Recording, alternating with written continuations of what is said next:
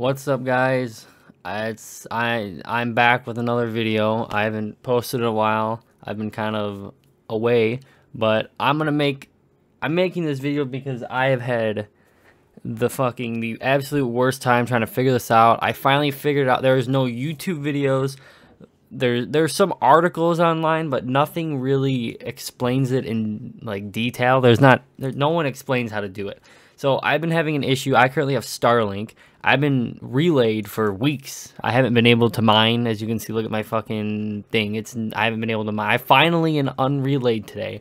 Finally, I've been trying and trying and trying. I finally got it. I finally figured out how to get unrelayed. I'm gonna show you guys how to do it. It's pretty easy. It's cheap, like $30, 40 dollars. Um, but even if you have, I don't, I don't know what other routers would you'd be relayed on, but if you're having trouble getting unrelayed, this will fix all of your issues because it fixed mine. So uh, let's. I'm gonna switch my phone. Show you guys what I'm doing. So what I'm holding in my hand is a Mango router. You can purchase this for $26 on Amazon. Basically what it does is it runs a VPN um, and then you can port forward. So on my Starlink, I can't port forward because it uses um, like CNAT or some, it uses some sort of different, it's not a regular router, let's just put it that way. And so what you do is you plug your router, you, you plug it in here into the WAN, and then you plug your miner into the LAN port here. Um, or you can use Wi-Fi. This has Wi-Fi too. You can connect Wi-Fi, connect your router to it, and then connect your miner to it. I'm going to show you how to set this up. It's really easy. It's kind of confusing at first, but I'll walk you guys through it. There's no YouTube video out so I might as well I might might as well be the first person to make a video on how to do this. But let's jump back into the computer and I'll show you how to set this up. Alright, so let's just say you have your Mango router plugged in, you have your your um, router connected to the LAN, you have your Helium miner connected to the LAN, it's all synced up, you're ready to set it up. What you need to do is go to your computer, come and you need to connect to it, obviously. So the when you first connect to it, the default password is going to be in the instruction manual. I think it's good life, but I'm not entirely sure. But just go connect to it. Okay, once you are connected to your Mango router, you want to go to 192.168.8.1 and here is you should be logged into your um, your router like your your modem or whatever. And then, so once you have everything set up, so like you got your Ethernet plugged in, and then you got your Helium miner connected to this, you everything is set up now. You you have your miner has internet, except it's relayed still, right? So now what you want to do is go to ovpn.com. I'll leave this link in the description. Um, it's like 11 dollars a month, or if you want to pay for a year, it's like a hundred or something. Um, but that's what you have to pay. I don't know if there's there might be other cheaper services out there. It's just OP, OVPN works. I know works for me, and it, you know WireGuard works and all that. So I just use this. So once you bought the subscription or whatever, you want to come down here and make sure you buy um, public IPv4. I think this is like two or three dollars a month. Make sure you buy. You come here and hit purchase this add-on. Uh, once you bought that, you want to then go um, click open settings and then down here make sure you select your closest server. For protocol select WireGuard um, once that is done come over here and hit configuration files. Um, actually let me let me delete or go to WireGuard configuration files. Um, select IPv4 generate a key you just create a key and then hit download. Now I downloaded this um, little file here. You can just exit out of OVPN. You don't need it anymore. Go back to your router. Come over here to VPN.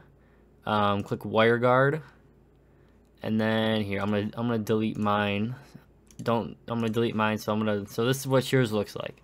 So hit Setup WireGuard manually. Hit Configuration. Now you want to do is open up the file you just the file you just downloaded copy copy what was in there and paste it into WireGuard and hit next and name it I'm just gonna name it Miami uh, US, something like that. Hit add. Um, and then make sure you check this. Make sure that's on. Click connect. And then give it a minute. and then this when when this turns green, that means it's on. And you can check that by going to what's my IP what's my IP and Miami, Florida. Perfect. This is working. Go to click more settings, LAN IP, and you have to create a static IP for your um, your uh, Helium miner. So go to clients, um, write down your miner's IP and MAC address. So mine's right here. Once you have those saved or written down, go to LAN IP, um, put them both in or you can just select it on the drop down, hit add. Once it once it's down here, now your Helium miner will have a static IP address. Your IP won't change, it'll stay the same. Now go to firewall and name it whatever you want. Um, select TCP slash UDP. Um, and then for external zone, you want to select WireGuard. And then for port, you know, you put 44158, leave that. For your internal IP, select your miner's IP, the same one that we found in clients, and then put the 44158 port there, hit add, it should show up here. Now, when you go to portchecker.co, um, hit use current IP 44158, check, port is now open, we are good to go. If we go to if you go and check your miner, it should be, if this says open, give it 24 hours. Your miner should be unrelayed by then. If not, I mean, add me on Discord or something. I don't, I can probably help you. But if this is open, your miner should be not, should be unrelayed. Your miner shouldn't be relayed. Um, so you can basically do this fucking, you can buy another one of these routers if you have another, um, miner that's relayed by another one of these routers, go through the same process, do it all over again. It's pretty easy. Not it was this was complicated at first because it, it was all coming at me at once. There was no YouTube videos. There were a couple articles I found. None of them were really detailed. Like none of them really showed you what to do. They were just kind of written out and they weren't that good. But hopefully this video helps people who are having the same issue I am.